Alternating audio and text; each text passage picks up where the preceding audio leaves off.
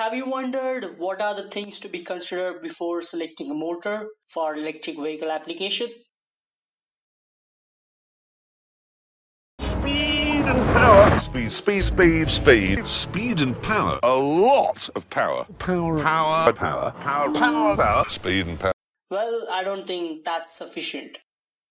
In the last videos, we have seen the selection criteria of the systems which are being used in EVs.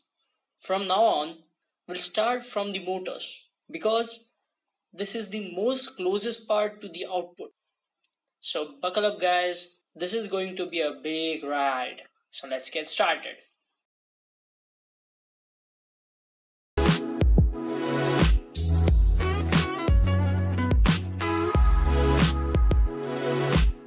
The motor converts electrical energy into mechanical energy. That thing we already know and this is achieved by generating a magnetic field by flowing an electric current through the coils connected to either rotor or stator of the motor. The motor consists of two main components. First is the stator and another is the rotor. The stator is a non-moving part. It stays still. The rotor on the other hand rotates according to the magnetic field generated between rotor and stator. Well now, this basic understanding is sufficient. Later, we'll discuss about the every motor in detail, which can be used in electric vehicles. The motor is the heart of every electric vehicle. The motors are way more efficient than gasoline engines because there are only two moving parts. First is the rotor, second is the bearing. These bearings are made of very small metal balls which move very easily so they don't cause much friction and they generate very less amount of heat hence the power dissipation across it is comparatively very low. To know more about motors used in electric vehicles first we have to see the different type of setups present in an electric vehicle because we need to understand how are we going to mount that motor efficiently so that it can provide very good drive power to the wheels. This is the traditional drivetrain that we see in every gasoline vehicle. The motor can be connected to the clutch, then the gearbox and then the differential. The reason we use this configuration is to provide very high torque at low speed and low torque at high speed. If you see the torque speed curve of the gasoline engine, the initial torque is low at low speed. So this configuration helps the differential allows each wheel to rotate at different speed and direction as well. This configuration in EV is used when the electrification of old IC engine vehicle has to be done, where we can just replace the engine and mount the motor. However, this is not the efficient way because there are a lot of system present between motor and wheels, which reduces the efficiency of the drivetrain. In second configuration, the clutch is not there. It has fixed gearbox only, just like scooters. But in this case, we don't get desired torque speed configurations, but the complexity of the system is reduced and we get good efficiency. In the third setup, the motor, gear and differential is connected as a single unit, which drives the motor. This configuration is present in most of the EVs, such as Nissan Leaf, Chevrolet Spark, where the motor is mounted at the front side of the vehicle and drives the front axle. The fourth configuration has two separate motors and gearbox for two wheels, where the speed and torque of each motor is electrically controlled, hence there is no need of differential. So the mechanical wear and tear is eliminated, but the electronic system becomes very complex and the controlling is tricky this is the same as that of earlier configuration but the gearbox is inside the wheels as a planetary kind of gearbox is fitted and we get inline arrangement of input and output shafts.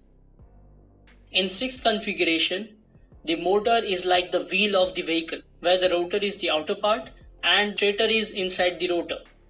This configuration is very convenient as it reduces the weight of total drivetrain which contains very heavy gear mechanism and whatnot. but the wheel alignment and other mechanical aspects become a very challenging factor in this.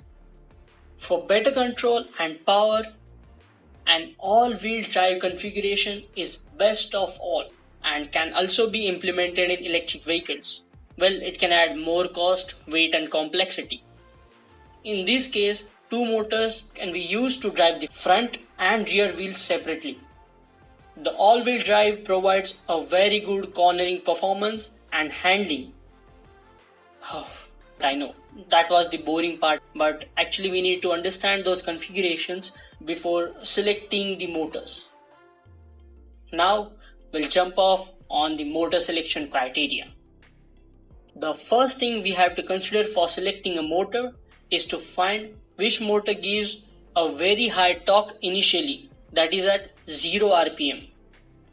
Because for initial acceleration, vehicle demands very high torque due to inertia and other resisting factors for vehicle to get moving. As speed of the vehicle increases, the torque demand decreases, but the power delivery should not change at all. It should be provided as much as required.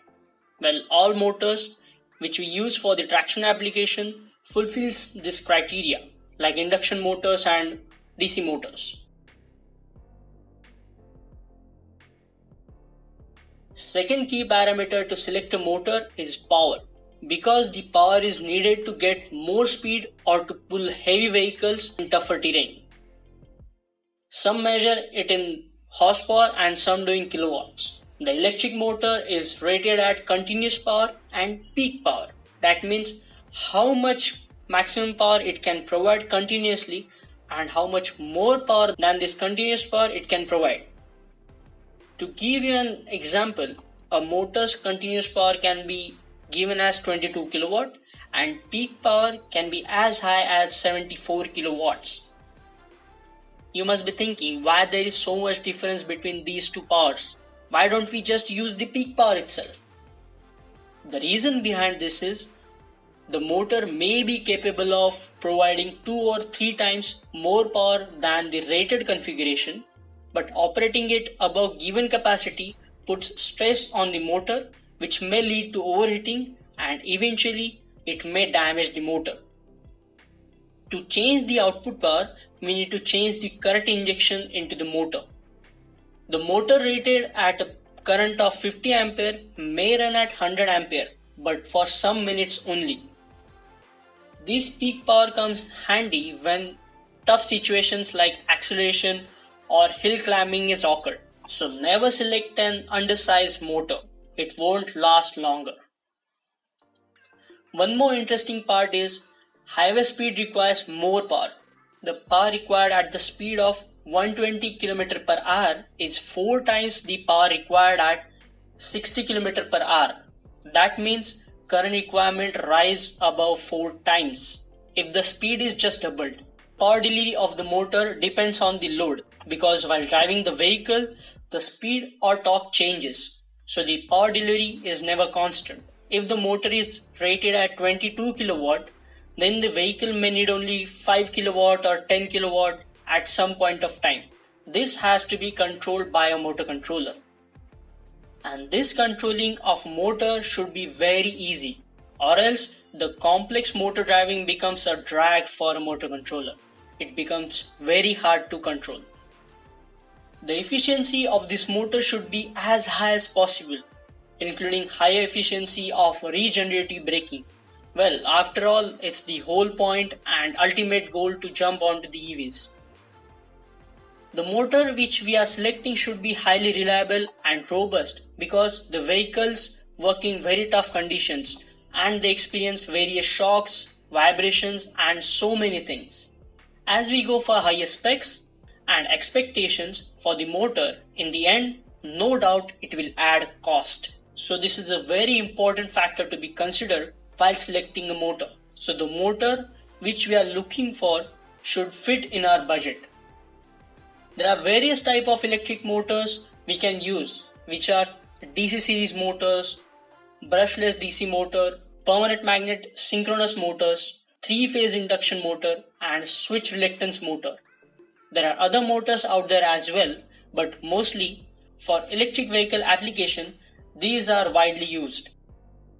If you see the current scenario, go-kart EVs and two-wheeler application which requires very less power and performance, say less than 3 kilowatt, also cost and size is the major factor which decides the motor. It is always good to go with BLDC hub motors, which are small and we don't need any complex transmission to deliver power from the motor to the wheel because motor is embedded in the wheels itself just like the 6 configuration we have seen earlier or it is also good to choose BLDC motor with or without a transmission system as we have seen in the fifth configuration.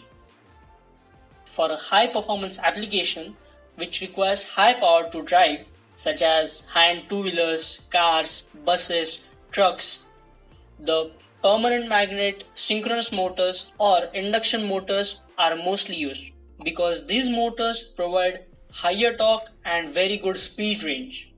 The size of these motors is very small as compared to the same powered IC engines. Unlike IC engines, motors don't produce noise while running. So the design of silencer, air filter and other things related to reduce the noise and air pollution are eliminated. So the EVs are cleaner for the environment. For future approach, the research on synchronous reluctance motors and switch reluctance motor is being held which can provide a very cost effective solution than permanent magnet synchronous motors or induction motors and might increase the power of drivetrain. Then we can have more options for motor types for electric vehicle application. I think now you have got the concepts related to motor selection used in EVs. Next time we'll check working concept of these motors one by one. If you still have any doubts, you can ask in the comment section. Hit the like button if you like this video subscribe to my channel. I'll add more stuff related to EVs in future videos. And finally, thanks for watching.